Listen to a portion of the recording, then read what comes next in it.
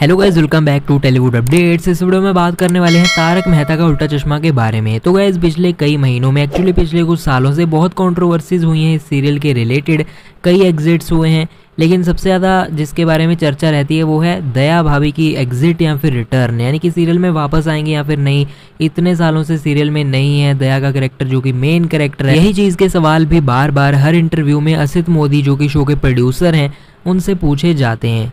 तो कई बार वो अपडेट्स वगैरह देते होते हैं और अभी रिसेंटली इंटरव्यू में उन्होंने एक रिसेंट लेटेस्ट अपडेट दिया है, दिशा वकानी या फिर दया बहन के रिटर्न के बारे में तारक मेहता का उल्टा चश्मा में।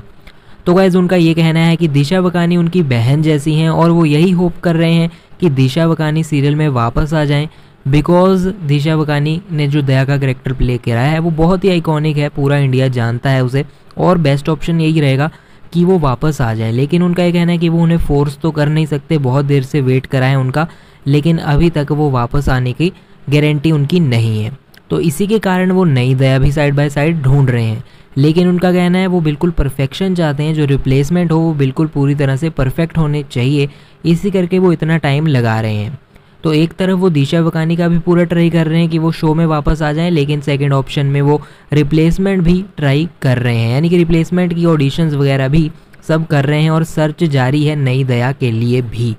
ये चीज़ वही है, उन्होंने वही अपडेट दिया, जो कि मैं आपको काफ़ी देर पहले बताया था, बहुत महीनों पहले आपको बताया था कि रिसेंटली तारक मेहता वाले फोकस कर रहे हैं पुराने एक्टर्स वापस लाने के लिए। काफ़ी अपकमिंग एपिसोड्स में आपको नई चीज़ें देखने को मिलेंगी, और उसके बाद फिर नई बावरी आई थी। नए नटुआ का, नए तारक वगैरह सब देखने को मिले हैं सीरियल में। तो वैसे ही नया टप्पू भी आ गया अब तो।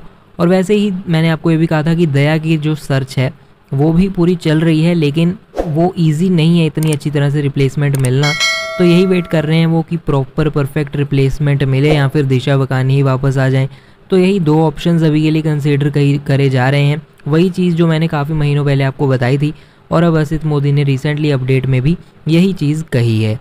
तो बस अपडेट घूम फिर के स्टिल वही है कि दया का जो करेक्टर है, वो तो वापस आएगा सीरियल में, आने वाले महीनों में, लेकिन वो नोन नहीं है कि दिशा बगानी होंगी या फिर कोई दूसरी एक्ट्रेस हालाँकि दूसरी एक्ट्रेस की सर्च भी जारी है। इस नए स्टेटमेंट में असित मोदी ने यह भी कहा है कि जो भी होगा, भले ही दिशा वकानी होंगी या फिर कोई और एक्ट्रेस लेकिन दया का करेक्टर जो है वो जल्द ही देखने को मिलेगा आपको। लेकिन इनका जल्द का मतलब है कुछ महीने तो लग ही जाएँगे।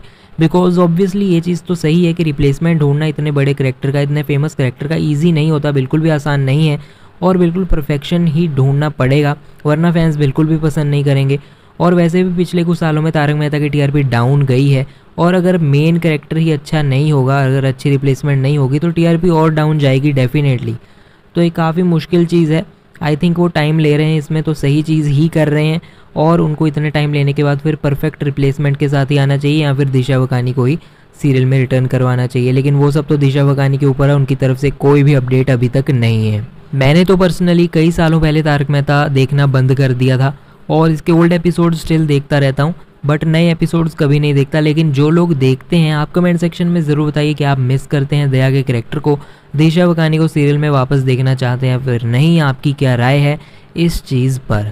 सब टीवी तारक मेहता और इस दया की सिचुएशन पे जो भी अपकमिंग अपडेट्स होंगे, जो कि आने वाले हफ्तों में और आने वाले महीनों में हमको देखने को मिलेंगे, उसके लिए हमारे चैनल से जुड़े रहिए। हमारे चैनल को सब्सक्राइब ज़रूर कर लीजिए और साथ में जो बेल आइकन है, उसे दबाकर ऑल पे क्लिक कर लीजिए ताकि सारी सब टीवी तारक मेहता की अपडेट्स आप तक पहुँचती रहें। और फ़िलहाल के वीडियो में इतना ही। हम मिलते हैं नेक्स्ट वीडियो में। अभी के लिए चलता हूँ। Good bye